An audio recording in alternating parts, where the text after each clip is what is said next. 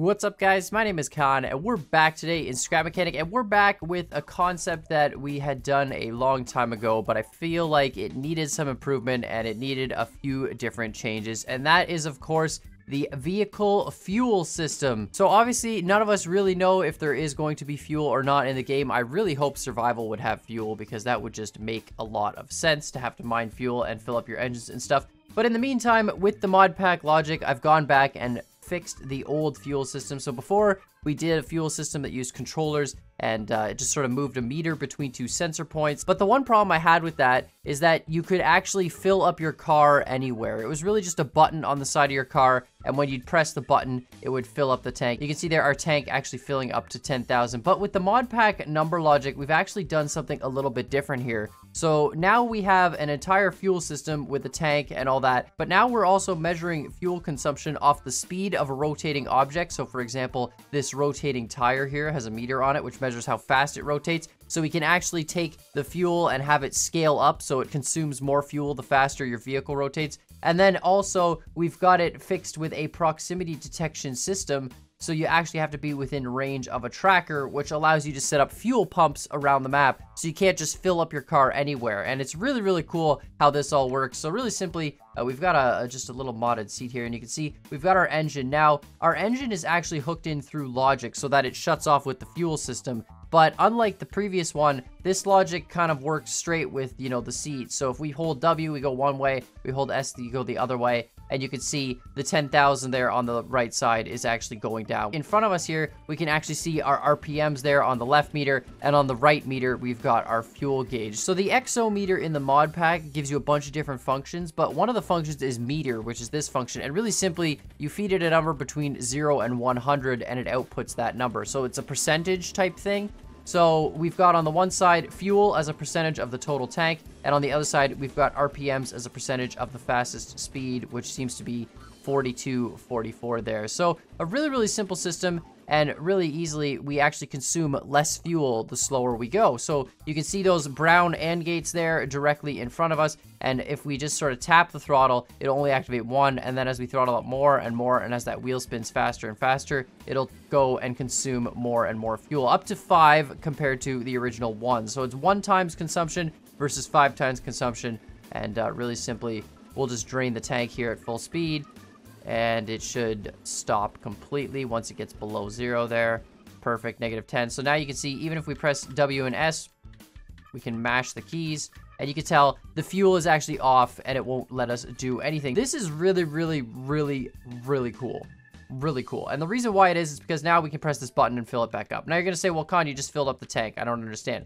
But here's the cool part. We're only able to fill up the tank because right now that tracker there is within 20 blocks of our little sensor setup. So if we go over here and we take this tracker and we delete it, so if we take a new tracker here and we put it one block away outside of the 20 block range, now you can see if we hit the fuel button, we can't actually fill up the tank at all. So really simply, you can put trackers around the map as your fuel depots, and actually we've got a, just a really simple fuel pump over there. But you see we got trackers as fuel depots, and now, unlike the previous fuel car, if you want to do an actual like fuel-based race, you can totally do that with your friends, and you can take this fuel system, put it on a car, and of course, race around a map and have different like checkpoints or pit stops. Really simply, all we're doing is we take the rotation uh, speed, which is measured by rotation on this EXO meter, and we feed it to an absolute value. So if it's going backwards or forwards, it doesn't matter. It just tells you the total speed. And then we just display that on a number here, which we really don't need this display, but it's just there for our own benefit.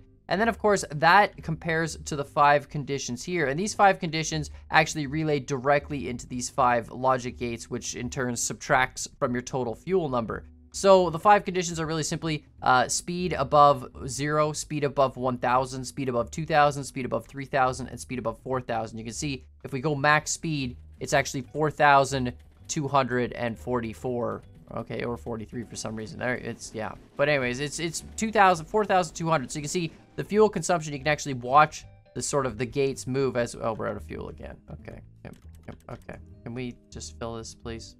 Just move that a little bit closer. There we go. We'll just fill the tank. All right, perfect.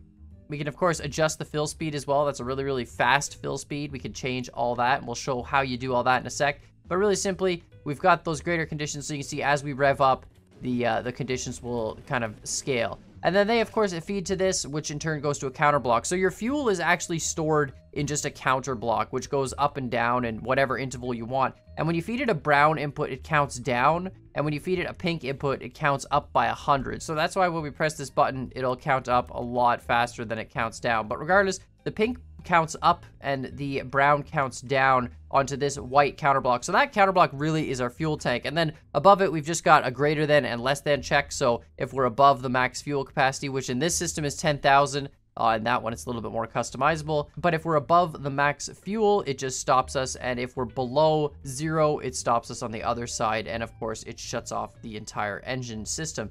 So really simple stuff. And then of course we've just got, you know, the meter output and all that stuff. So really, really cool what we can do with the number logic. But of course, I figured this would be a little bit confusing and a little bit difficult to set up on a car. Obviously, this would take a little bit of space. So I decided to go and make it much, much more compact and much better. So this is the exact same system right here. This is the new Kan Fuel System 2.0. We've got a little gas pump here as well. And of course, our gas pump, if we actually just lift this up, you'll see just has really simply an AI tracker underneath it in the middle. So you have to be within 30 blocks of the gas pump, but of course we can change that. So this is our fuel system circuit. Now you'll notice there's these extra sort of meters and buttons hanging off the side. Those can all be removed. They're just there sort of as a information system, just so you know when you're setting up the system. And uh, But you can remove them all, no problem, and delete them once you remove it and weld it to your vehicle, however you want to do it. So really simply, all the connections are at the top and at the bottom here. Everywhere where the caution block interferes with the circuit, that's where you got to hook this circuit into your system. Now, there are a few differences to this circuit compared to that one. Uh, it's much improved. For example, this right here is a 30 block measurement, so we can increase this, we can decrease this. This white one here, that determines how close your vehicle has to be to the fuel pump or to the, to the radar tracker in order for it to actually receive fuel. So if you have like a really, really big vehicle and you want to make sure that, you know, your circuit can still receive fuel, you can increase this as much as you want, decrease this as much as you want. And it's, of course, just the distance in blocks that you have to be close to that, um, that pump. And then, of course, when we remove this entire caution block here, it doesn't affect the circuit. It stores the value in here. This is just a display. So you can actually just weld this 5 by 7 circuit to your vehicle and you're good to go. The other bottom input here, this sort of yellow plus N gate, that's a number gate and it's actually just outputting the fuel value in the tank. So you can connect this into whatever display you want if you want a digital display. The analog display with the meter is at the top there. It comes out a different side. But if you want a digital display as well, you can just connect this bottom number in. But again, not required. If you don't have it connected to anything, the circuit will still work. So Across the top, we've got all the main inputs that you'll need. Um, basically, you hook your seat into the green input, and then you also hook your engine coming out of the green input. So this, you can see seat goes into green, and then engine comes out of green. Then, of course, we've got the absolute blue input here. So this blue input feeds off your rotation meter. So you have to have an exometer set on rotation on whatever you want to measure. You can measure a wheel which I've been doing, which is measuring the wheel speed. But you can also have like an actual engine set up with a little fan belt on it, and you could measure your engine rotation speed. However you want to do it, that is up to you, but you do need to measure rotation. So that feeds into this blue right here. Then the yellow and purple are your two meter outputs. So you can see they just both feed directly into these meters. And the meter, the yellow meter is your RPM, so the speed at which your wheel is rotating. And the purple meter is your fuel gauge total level. So you can see we're actually at full fuel there. But those meters, again, you don't have to hook them in, but uh, it's nice to have that display. I mean, you definitely want a fuel gauge hookup. But you can see really quickly as we ramp up, uh, the fuel gauge goes down relatively fast, actually extremely fast. And then the RPM, of course, but we can just refuel that really simply right here. We'll just press that and boom, our fuel is back up. Now, there's two scaling functions here. We've got a pink scale and we've got an orange scale and uh, they can be adjusted, of course, here with the little displays. And these are really, really cool. The fuel you'll see here drains very, very quickly.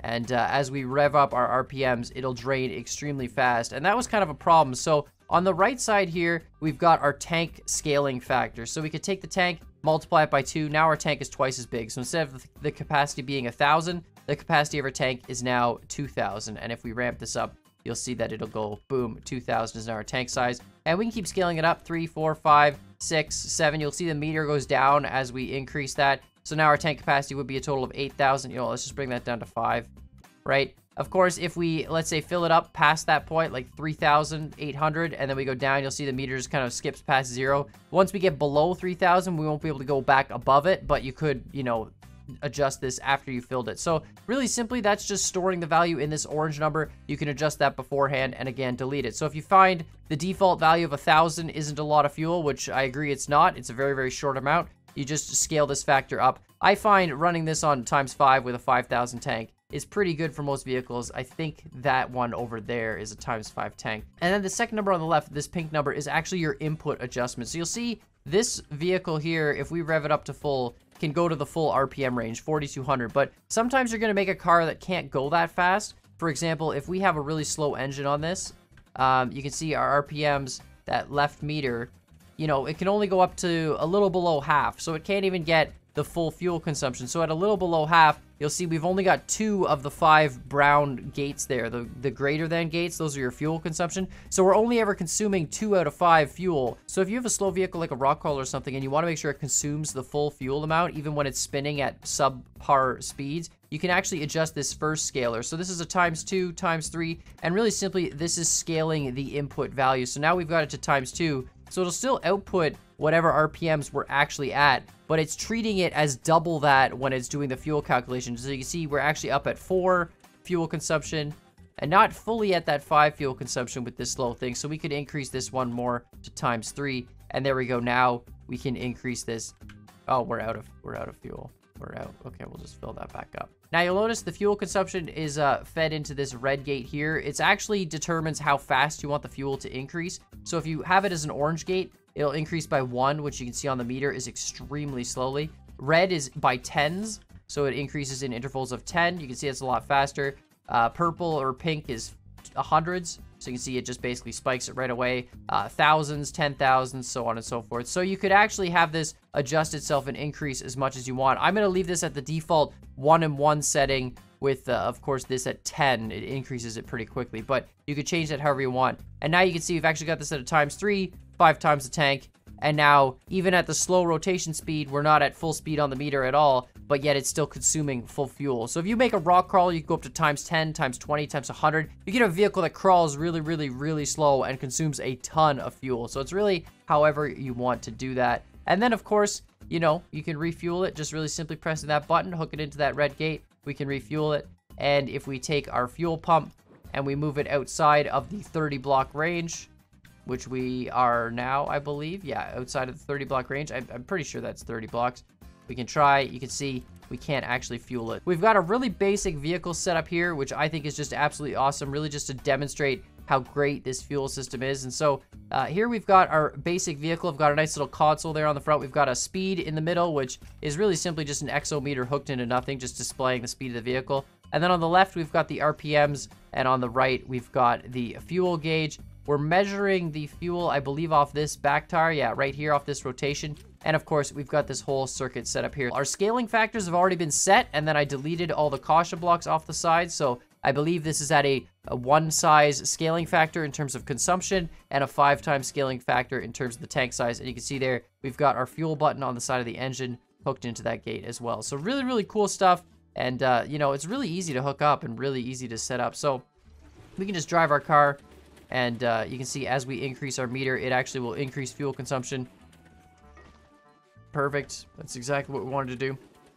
And so you could do, you know, a whole fuel race type system. And the cool thing with the number logic too is putting your vehicle on the lift doesn't reset the logic. So for example, our fuel gauge is, you know, just a little bit above half right now. And if we put this on the lift and then we put it back down, you can see it hasn't reset the logic. Whereas if we were storing values with binary or with controller positions or rotations on bearings, whenever you'd put it on the lift, all the rotations on the bearings would get reset. So that's kind of a pain. But with this, if you're racing with your friends and, uh, you know, let's say you run out of fuel here. So this one's obviously five times the tank size. It's got a, a fair amount of capacity, so it can drive for a fair amount of time. But uh, we could, of course, decrease that. But here we go. Let's say you're driving with your friends and uh, we run out of gas. There we go. So we're out of gas. We've got no, we've got no gas. We've got no WS. We can still turn. So the cool thing about this is now you have to actually put your vehicle on the lift and run it back to the gas station. You can't just like I can't just put it on the lift, take it off the lift, and press the button. It won't it won't do anything. It still has no fuel. You can see we can hold this button all day. The fuel meter's not moving. Can't drive. So it's really really awesome to have the ability to, you know, fuel at very specific spots. So now we got to bring it, we're back at the fuel pump, and uh, we should be able to, there we go, now we're close enough to the gas pump there. We can fill this up, no problem and we're good to go. So that's just a really cool thing, which I think is the biggest improvement over the previous fuel mod. I mean, obviously being able to consume different amounts of fuel depending on how fast you're going is really, really cool. So if you drive slower, you know, you won't consume as much compared to if you're driving faster, which is kind of realistic to a real car. It's a little bit different. I mean, in a real car, it's based on engine speed, but the biggest improvement is the fact that you have to be close to these gas stations. And I think that's just absolutely awesome to be able to put pumps around the map or however you want with these little trackers and just have it so that your vehicle has to be close enough to that to fill up is just really, really, really cool because before with the original logic on the fuel system, we couldn't do that and it just wasn't as exciting. You could just get off your car, press the button, and it was like whatever. Now you have to actually sort of like plan when you're gonna stop and when you're gonna drive. So that's a really, really cool system, and I'm really excited about it. So I will upload this to the workshop, this new fuel circuit plus the gas pump attached to the side of it. Of course, you can just make your own gas pumps really simply with the tracker block. You can just place them on anything. It really doesn't matter. But before we go, I figure I'll show you guys how to set up a blank car here with the fuel system, just to make your lives a little bit easier. So first thing we'll do is we'll just remove this fuel meter. We don't need the uh, digital fuel meter. We'll keep the block distance at 30 so that, you know, you have to be within 30 blocks for the fuel pump to take effect. That's no problem. Uh, the green and the blue, we'll hook those up after the fact, so we'll just remove that for now.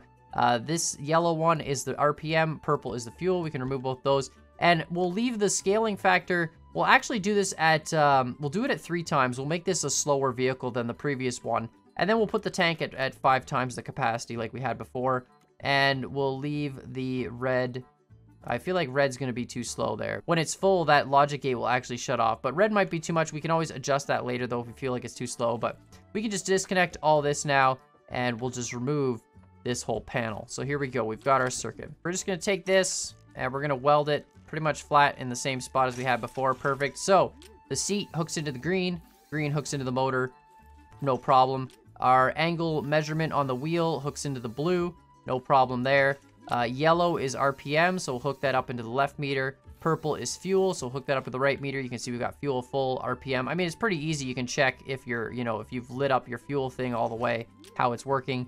And then we'll hook our fuel button into the red. And all our settings have already been saved, so we don't need to have any of those. All right, so we'll turn up our engine, have a nice slow-moving vehicle here, and we've got a three times scaling factor, so if we can get this thing moving one-third, you know, total RPM, there we go. So that should be consuming the full fuel. Oh, we're consuming four out of five. You can see there. Oh, no, just on the fifth range.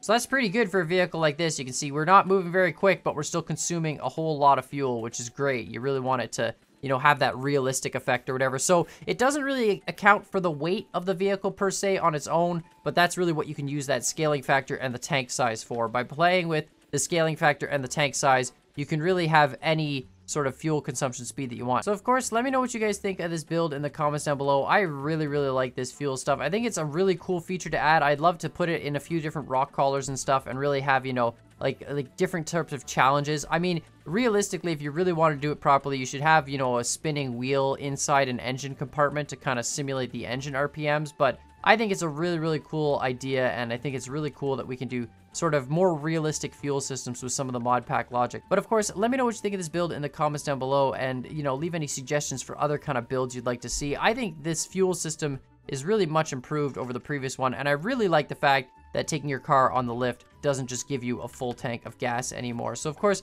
let me know what you think in the comments down below, and while you're at it, hit that like button, hit that subscribe button, and as always, I hope you guys enjoyed this video, and we'll see y'all next time.